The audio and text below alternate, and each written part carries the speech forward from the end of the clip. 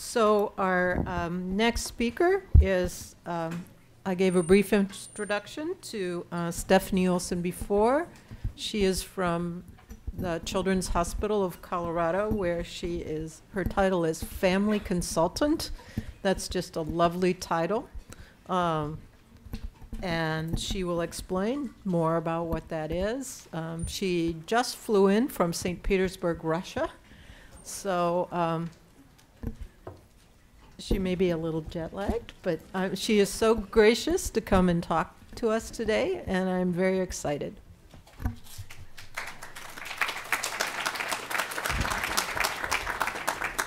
Thank you. It's great to be here today. Um, a, li a little note about um, my PowerPoint has a lot of words on it, and you don't have to pay attention to all of them, but I'm kind of one of those information junkies, so I like to go back home and read through the PowerPoints and connect them with what I've heard, so that's part of why I do it. And I also do that because I travel and present um, internationally. And sometimes there's a little bit of a language barrier or breakdown. And I am also concerned if people are um, able to understand me, so it kind of backs me up that way. But don't worry, I won't read every single thing. I have confidence in your reading skills. so, um, this is where it began. This is actually a picture of me with my mother, my father, and um, I love looking at this photo. Um, my dad passed away about 10 years ago, so I love seeing um, him and his smile. And then, of course, there's my mother, who's also here today. She's right over there. And if you'll notice, isn't that great? Yay, yay for parents. One of the things I want you to notice on this photo is uh, my mom's red lips, and she has lipstick on right now. and I always say that this has a lot to do with um, my development of speech and language because those big red lips were moving all the time. and because we're here to talk about early intervention today, when I look at this photo, there's something in it that takes my breath away, and that is the fact that my hearing loss wasn't discovered until I was three years old. So I keep staring at that little bitty baby, that little cute picture of me, and wondering what those first three years of language and hearing and learning what was going on. Very interesting for me, and that's why I find the studies that Mary Pat Moeller is doing and talking about our forgotten children so powerful because I am a product of um, that generation where I wasn't identified. And I know this isn't of great comfort to families, um, parents here today whose child has been identified with a hearing loss right after um, birth with the newborn screening, because um, that's something you weren't expecting. It was just, it just wasn't, for most parents, even in the realm of thinking. And a lot of times, the baby books that we read the first um, nine months or what to expect when you're expecting don't even talk about newborn hearing screening unless that's changed because my kids are older. That's something I need to look into. But um, that's why I am so passionate about early intervention. I was identified with severe to profound. And I think at the time it was probably moderate to severe, and then later on became severe to profound hearing loss. And then fitted with very powerful hearing aids. The reason um, that I was even identified was that my mom noticed that I was not developing speech and language, and that at times I would turn her face towards her to get the information that she was giving me. And then I did get a cochlear implant in 2006 so that would be about nine years ago. And um, that was an interesting process, and I'm glad I did it. It was a good thing, it was a great decision for me. I understand it's not for everybody, but it was a good decision. I will tell you though, as a person that grew up with hearing aids, I still really liked my hearing aid for a long time. I always say it's like your first boyfriend or maybe your first kiss, you know? there's, there's many other wonderful things coming, but that first time is so great. And my hearing aids gave me a lot of good residual hearing, a lot of uh, very powerful um, uh, low, deep bass sounds, and I love that, which is also why I'm still a fan of good old fashioned rock and roll music. Um, the information, options, and support for my parents were not available. And I think that's part of what uh, made um, the journey through hearing loss for my parents a little bit more difficult than today's families.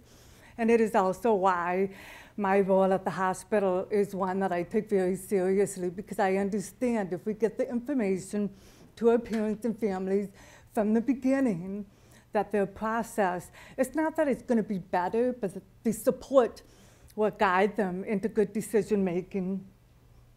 I attended public school, had many, many, many years of uh, speech therapy, and I didn't like it. I was pretty much a good girl. I wasn't one of those naughty kids that was out in the parking lot smoking or anything. But I did hide from the speech therapist.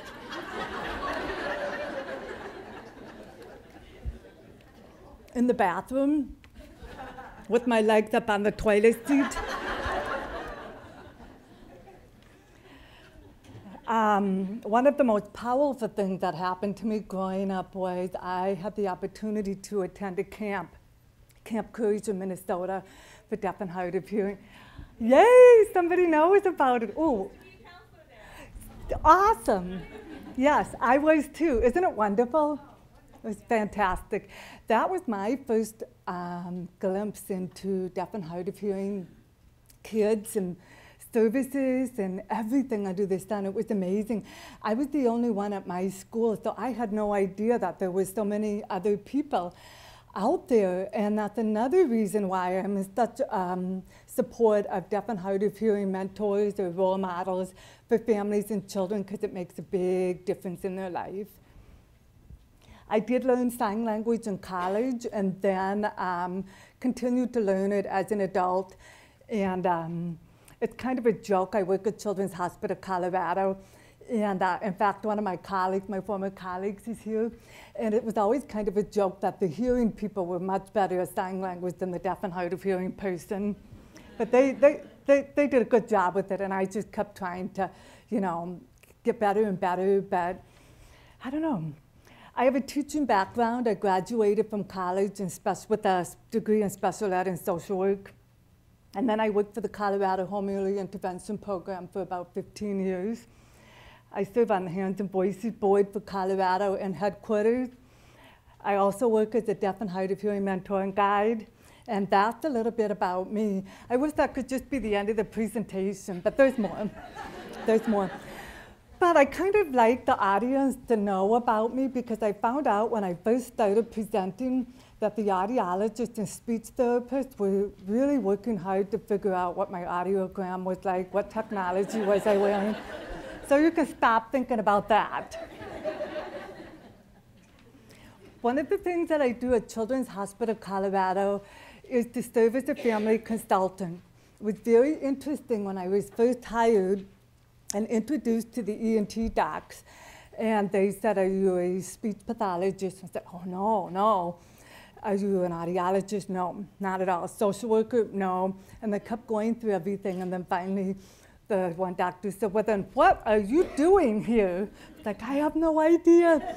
but I'm going to make this work. And it was kind of a job that was um, created when our, our program received a grant. And um, our director um, of services looked at the, the, program and thought, how can we better support families? And it was decided that we would bring in somebody that has that firsthand experience of hearing loss and work along the professionals and support families as needed. So the biggest thing that I do is serve as a liaison between the clinical staff and the families in the hospital. I uh, connect with the families shortly after identification Sometimes I'm there at that moment and I'll come in and talk to the families, just briefly introduce myself because I know they need some time to absorb that information. And I work very hard to help the families get to a point where they are valued members of our community at the hospital, that we value their input, input we value their feedback, and that they need to be considered as a valuable and most important part of the, of the team. And I work to kind of make sure the communication between all of the providers and the families. is nice and fluid and that people are seeing that each other's questions, concerns, and needs are being met because then we have a very powerful treatment team for the child. One of the things that's really difficult is shortly after identification is um, the families focus so much on what is not right, what is not working, what the hearing loss is, what their child can't hear. And I also work to help the families try to find um, what their child's doing well. And, and that's kind of difficult because all they can think about is that audiogram and the news that they've just been told. So we'll talk about the child's daily life and what they're doing and the babies and their little developmental milestones that they're meeting, they're meeting and make sure that we bring that into every part of the appointment. And I also let the team members and the doctors know when they do a good job.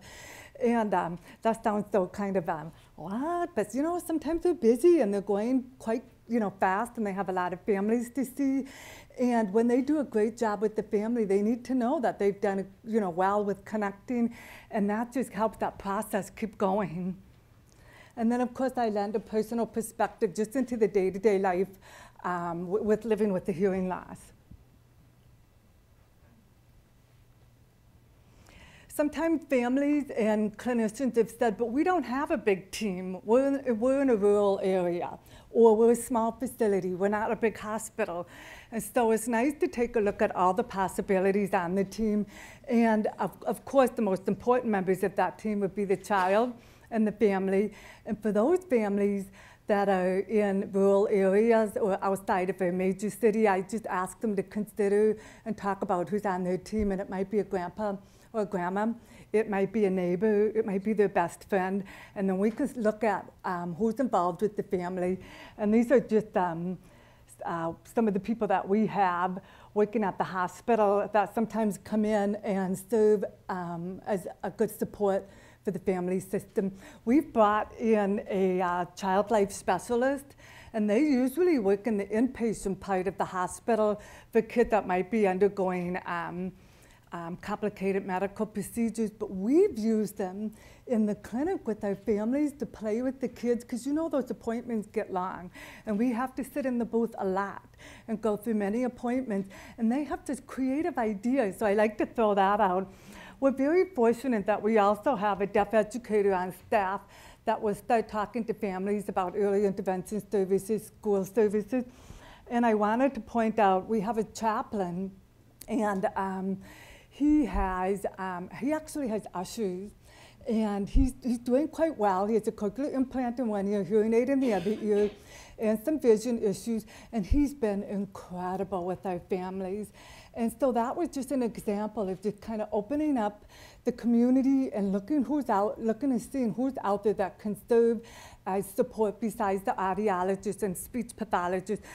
They, those are great people. For those of you that are in the audience, I'm not saying that's not enough, but I know for a fact that you have limited time in your appointments and families have so many questions and I also know for a fact that many times the audiologists come back into the office and they go over and over of um, all the things that they could have done or should have done and they ran out of time and making phone calls. So we just want to look at better ways to support the whole team. I like to talk about babies first and then the hearing loss second because that seems to be one of the things that gets taken away from families or they feel like they've lost and all that they can do is focus on that hearing loss. And I remind them that they still have that beautiful little baby in their arms, and that is so important. I'll frequently follow up with the families um, after they leave the clinic, and I had this happen over a, a 4th of July holiday weekend, and I checked in and the mom was having such a difficult time, she couldn't even talk to me on the phone. So the dad got on and he explained that it was difficult. And we chatted a little bit with the diagnosis of the hearing loss. It just really, just, you know, had impacted the family. And then I said, so what are your plans for this holiday weekend? And he says, you know, we haven't even thought about that. And I knew they had other um, children and the families. so I, I was interested in what they were going to be doing. And I said, you know, we're going to give you a lot of good support and you know, be there and help back you up.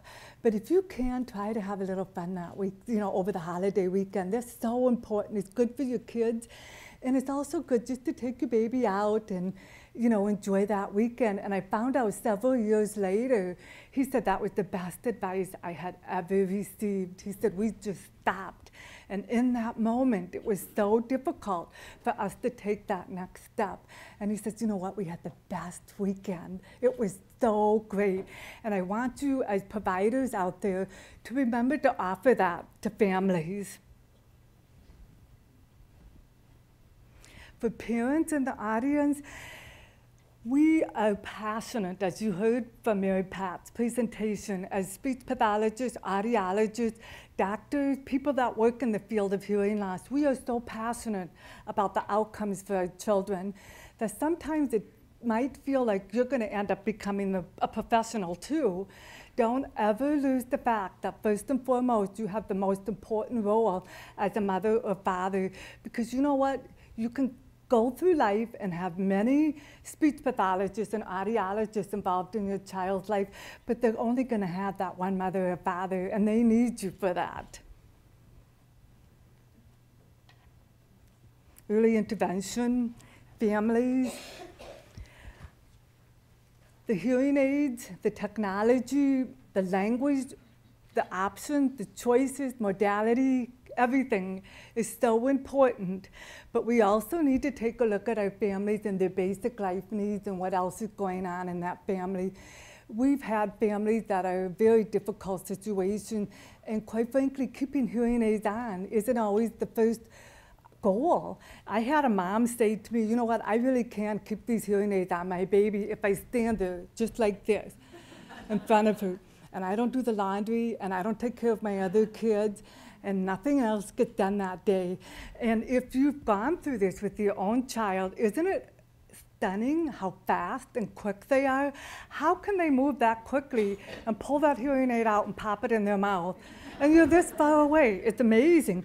But we do want to take a look at the family life and see how that's going with the hearing aids. A lot of families have multiple therapies and appointments.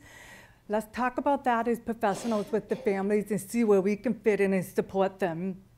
One of the most important things is families' voices and opinions are valued in this system. They don't know that yet.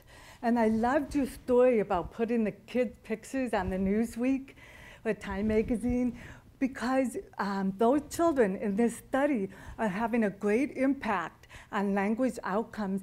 And parents I may not be fully aware of that.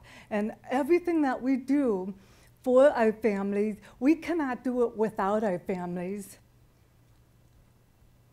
When you look at the appointment that take place in speech or audiology, what do the families bring to the visit?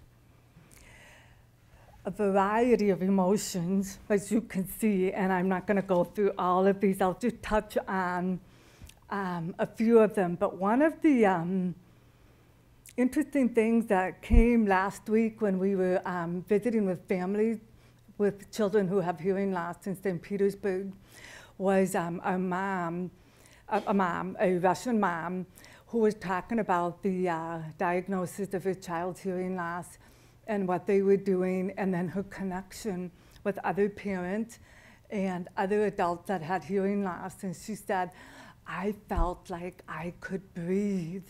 And to me, that is such a powerful statement is what can we do in these appointments when the families come in with so much on their plate to help them feel that they can breathe? Addressing a lot of the emotions are important, but it's easy for us as professionals to look at the grief cycle and where families are, and not all the families will go through that. Sometimes that grief cycle may not take place until later years, like preschool or early elementary years. Some families are just relieved that it's not something worse. And some families are so open and they want to try everything and do everything possible for their child. But sometimes professionals want to slow them down and take a look at that grief cycle and find out why they're not crying. We just need to take the families where they're at. And if there is a family that is in pain, we don't need to fix that pain, but we just need to feel it and sit with them side by side and let them share what they're willing to share with us. And if we have parents in here, do we have some families, some parents? You have this brand new baby, and um, that in itself is overwhelming. And then the involvement of all these professionals in your life was that difficult? Was that hard? All these people. Do you ever feel like you just needed to put a revolving door in for your front door, and people just keep coming and going and coming and going? And that's hard in the beginning, but I always tell families I can promise you it will get better. You will get to a point where there'll be a nice routine, but in those beginning stages, we do have that tendency to overwhelm our families because we want to make sure that we get off to a good start with providing services and support.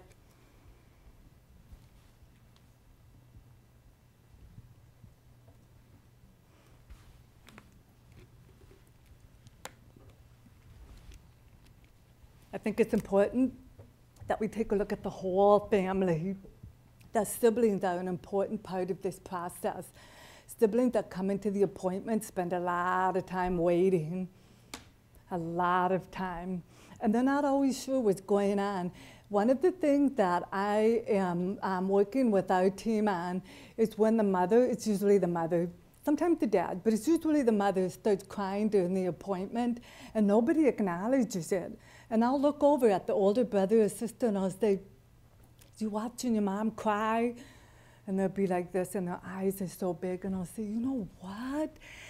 Sometimes mom just cry. Like sometimes they cry when they're sad, or sometimes they cry just because they're worried, or sometimes they cry when they're happy. Did your mom ever do that? And these kids nod. And I'll say, it's okay. I said, we're to give your mom some tissues, and it's okay. She can cry, and you can keep playing with your toys, and they're so relieved. We have to acknowledge that with our families. I love working with the siblings. That's my most favorite part of the appointment, So I should say my second most favorite part. Of, the first part is, of course, the uh, child with hearing loss. But they're so fun, and also they're there for that one-hour appointment, but with us for that one hour appointment, but when they go home, they have all those other hours to fill with their sibling. And if we can help them be a part of that appointment, it's so neat to see what they take home with them. I had the opportunity to work in the hospital with a family that was also a family that I worked with for early intervention. And one day I was at the home and we're playing, and the little brother was so cute. And um, his dad, um, he had been at the audiology appointment, and all of a sudden we're playing, and back up, back up, up, up, up, up, up, one, two, three, one, two, three. And I was like, oh my goodness. He copied the audiologist when she was just checking. Oh my goodness, it was so wonderful. So wonderful. Very good. One of the beauties of working with the siblings and the family that, of course, the siblings, is they have a relationship that's going to most likely outlast the parents because just, you know, kind of the way it goes. That's kind of the way it goes. But they're there for so many years. And so much of what the siblings do, um, the kids with hearing loss are able to learn from that is where I learned, right down here, you see in the corner, that's my brother. And then I'm in the middle, of course. And then there's my little sister. And um, if you notice, I have a little Mary Poppins bag. and inside that Mary Poppins bag was a salamander. We used to have salamanders in the window wells, and we would collect them, and then I would just put them in my Mary Poppins bag. It has nothing to do with hearing loss. I'm just amazed that I did that. But what's so interesting is we learn so much from our siblings. That is where we also learn um, like the language that the kids use um, is so different. The kids, you know, pick up words and phrases in preschool or school, and there's a lot to be said for that. And a lot of that is just something that I would have missed had it not been for my brother and my sister and also the way that they navigate their life. We are three completely different people. The way that we go through life is completely different. But I learned a lot from watching them as an older child, watching how they do things and get things, and there's so much um, to be gained from. And also, it's all the power and play. The vast amount of time that I spent playing with my siblings, and they were my best playmates for many, many years, is where I was able to get a nice, strong foundation of language. And the siblings are great, especially if you have the babies with trying on hearing aids. Or, um, the only way that my parents could get me to um, stop crying when I had to get the ear molds made was that they would have my brother go first. And then they would put that pink goo in his ear, and then it was my turn. So a lot of good role modeling, and especially with babies, you can ask the siblings, what colors should we get? What color ear molds should we get? What color hearing aids? And make them a big part of that appointment. We do a family camp in the summertime, and um, we um, have a sibling session, and most of the siblings talk about the benefits of their sibling with hearing loss. I thought they were going to really want to sit down and share how difficult it is to have a brother or sister with hearing loss. That wasn't something that they were interested in. They wanted to talk about the good things. One thing came up is um, all the therapies and appointments. So this little girl said, so a lot of times when we get home from those appointments, my mom is so tired, so we just get to watch TV. So, because my brother has hearing aids, I get a lot more screen time.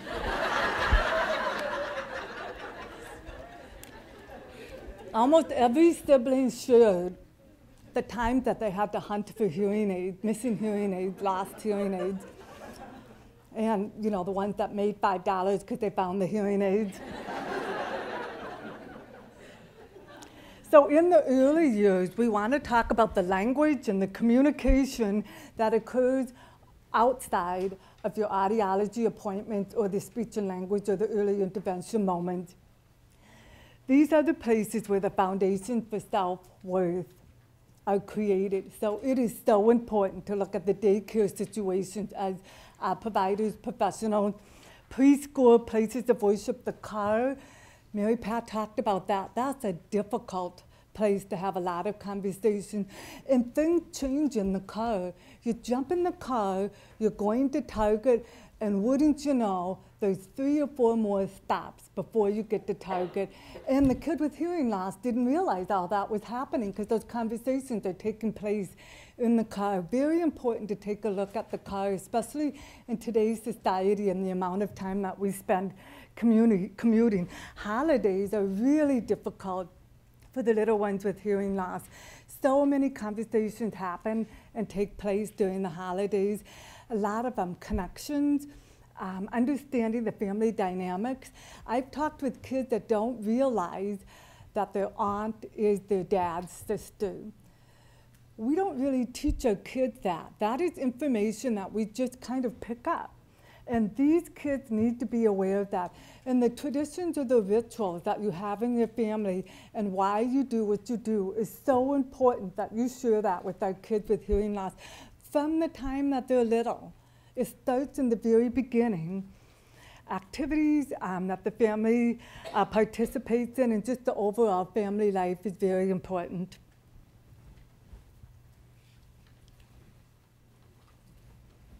I always like to talk about um, the vocabulary connected with the places of worship. Like the most bizarre vocabulary. Like you sit down in a pew. Very interesting. There's a lot of that. It's also important to finish your stories when you tell a story um, about something that's happening um, if with the church or um, I'll give you an example with a student that was trying to understand Lent and I finally understood what she was talking about. The only problem was she thought it was still Lent and she could not eat meat and it was July. Somebody forgot, somebody forgot to tell her that Lent was over. If you share these stories with your children with hearing loss, it's very important that you finish your stories. Taking a look at the parent perspectives and what comes up in our families, And I think a lot of you can recognize these. Um, one thing that was really um, interesting when I went back and talked to families that I um, had seen at the hospital and through early intervention and asked them to take a look back to their early intervention years and their perspectives is the providers have different goals for a child. Shared goals would be nice. So that's really important with that team collaboration and including all the members in your team. Just a few perspectives.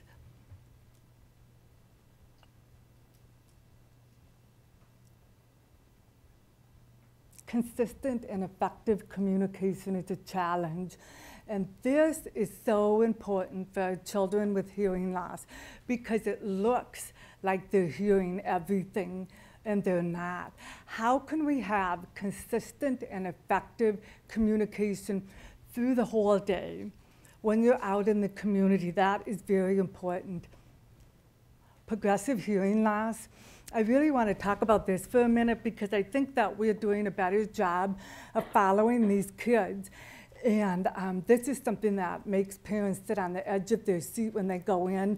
They don't want the hearing loss to get worse. Nobody does. I don't want mine to get worse either. But sometimes it happens. Sometimes it happens. And as the child gets older, the pressure to do well inside the booth really is difficult when there is a hearing loss that might be progressive.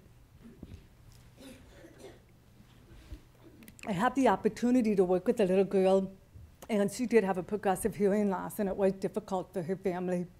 And she was in the booth, and I was out with the mom and the audiologist, and we could see that it wasn't going as the mom had hoped. And she did such a beautiful job when Janelle once came skipping out after the appointment. Had long, beautiful brown hair. She came skipping out of the booth and she said, I did a great job. And her mom looked, looked at her and she said, You really did. And you know what she did? She sat there and she waited patiently and she raised her hand for those beeps and she repeated back all those words. She did do a good job. Her hearing loss is not the same as it was, but she did such a good job. And we need to continue to acknowledge the work that our families, our mothers and fathers do when the kids go, when they take their babies into the booth for their audiology um, test. And I always say it was difficult for me growing up because every time I went in that booth, I wanted to do better. And quite frankly, that wasn't going to happen.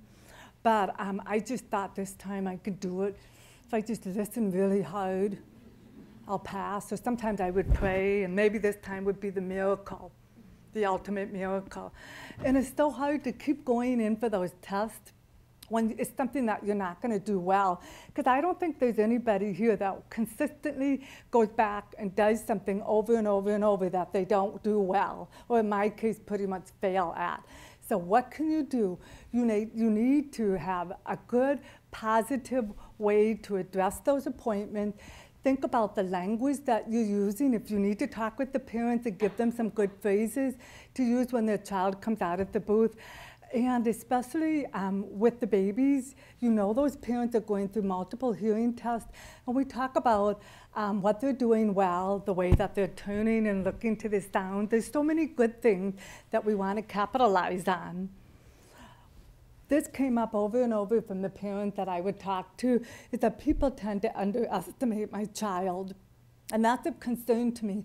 I don't know that it's always the professionals, but I think it's also the people that are in the family's day to day life. And how can we increase the expectations that we have for our children and make sure that they're always able to hear what the other little babies and children are hearing?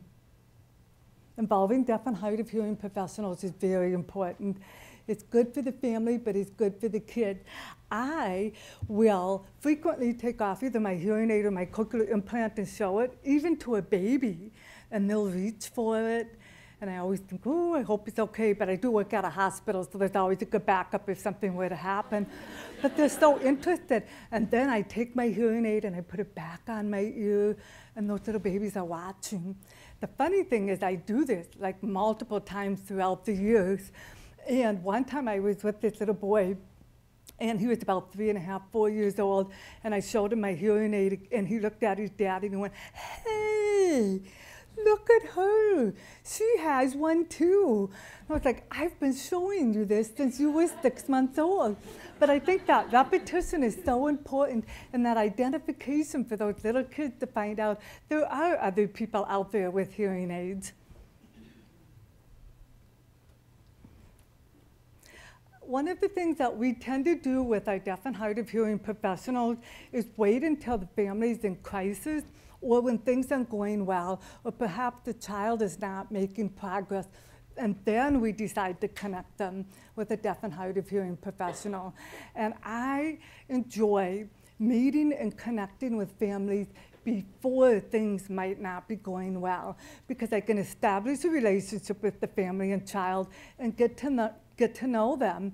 And then when it's time to um, work on something that the child or the family might be having difficult with, it's so much easier because we have a relationship. And we all know that things go better when there's an established relationship with the family. The hardest people to get on board with this was sometimes the professionals. I would go into work and check the schedule and see who was coming in to the hospital today which families you know had children with hearing loss, or maybe it was somebody that I hadn't had the opportunity to meet. And then I would check in with the audiologist, and they would frequently say, "Oh, she's doing well. The family's doing great. They're connected with all the services. The uh, little one's wearing her hearing aids." Um, you know, for all waking hours, and everything's really good. And that's when I say, great, because that's when I want to meet the family. So it's a good thing to keep in mind when you're working with deaf and hard of hearing mentors that we don't have to save it up for when things don't go well. A lot of what I do is just answer families' questions. And I always say, you can ask me anything. My life's an open book. And then one day I paid for it. I had a mother, a mother with a one-year-old little boy, beautiful little boy, and I said at the end of the audiology appointment, Do you have any questions? Is there anything that I can help you with? And she said, Yes. And they always wait until the audiologist or the speech, speech pathologist or, do- or, doctor, you know, um, leaves the room. And then I'm like, but she said, um, um, yes, I do have a question. I was just wondering, you know, as a deaf and hard of hearing person, um, like, what do you do? Like, how are you intimate? At night. Like, how can you see, you know, at night if you wanted, you know, to be intimate with your husband? This is terrible. I just realized my husband's sitting there. I forgot. I'm so sorry. Yeah. Whoops. But anyways, so I was so amazed. The good thing was I had an audiology student there, and I knew that I had heard correctly because for a brief moment I thought I must not have heard that right. and I looked over at her and she was bright red.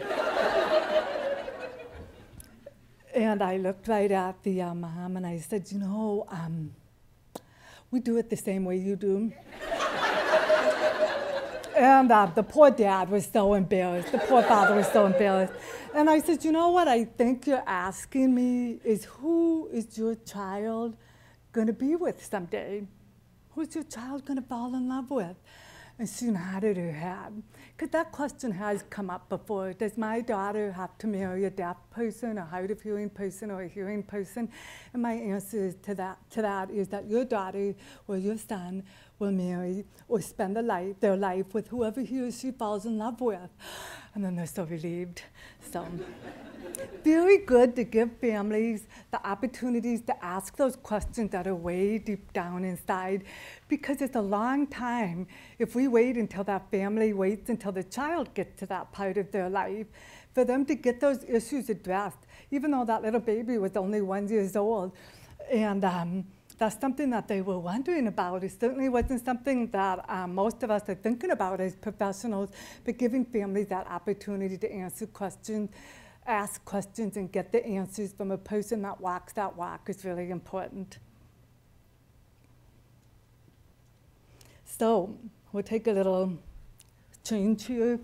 There's a great little story. I, I don't think it's true. I've Googled, Googled it and tried to find out, but it still fits with where I'm going. But the man on the moon story, have you heard of it before? Is it familiar to? Yeah, so during a visit to the Space Center in 1962, President Kennedy noticed a janitor carrying a broom, and he interrupted his tour, walked over to the man and said, Hi, I'm Jack Kennedy. What are you doing? And the man said, Well, Mr. President, the janitor responded, I'm helping put man on the moon. So, what are we doing? We're going to put a deaf and hard of hearing child on the moon. We really are. Do you believe that? You should. You should. You really should, as parents and professionals and providers for families. When you look at those little itty bitty babies, you should believe that we're going to have a deaf and hard of hearing child on the moon. It won't be me, though. I have no interest. But that's a big part of what I also talk about. In order for children to succeed and do well in life, we need to look beyond their hearing loss. We need to look at their personalities and all that they have to offer and make that um, known to the family because sometimes it's so hard to see outside of that audiogram or outside of the hearing aids that are on that child.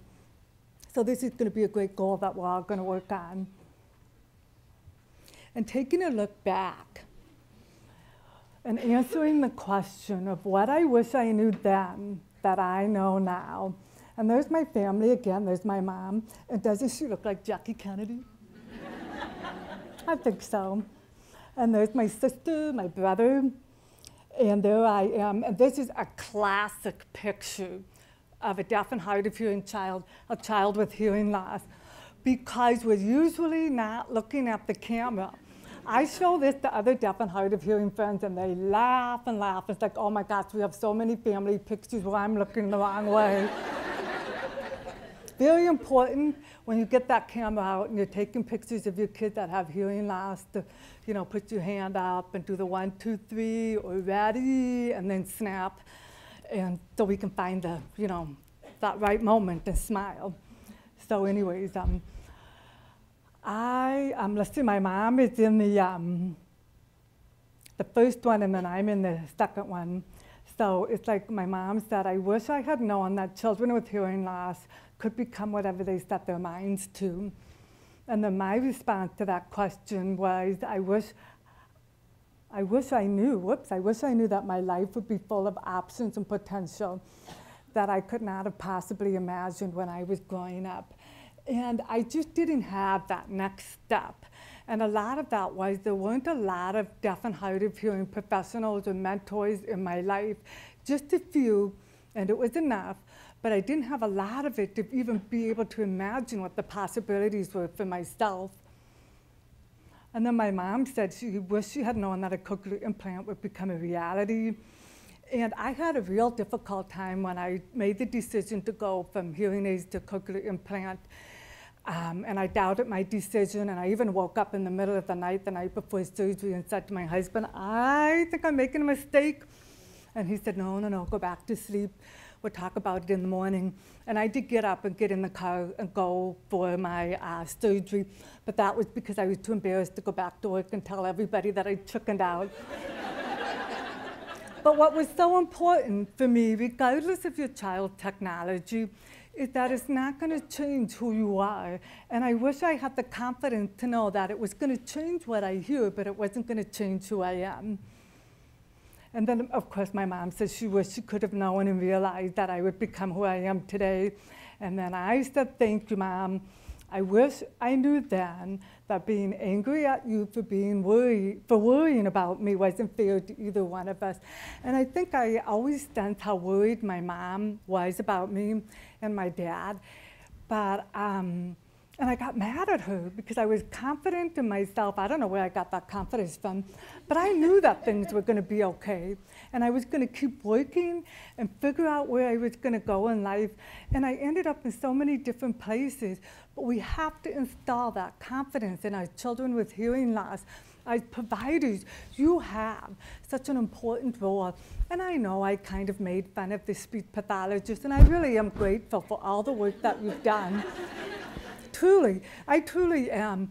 But you have such a, an impact on the children that you work with and the audiologists. You do so much to give that confidence to the families and the children. And I'm so grateful for all of you for being here today. Thank you very much.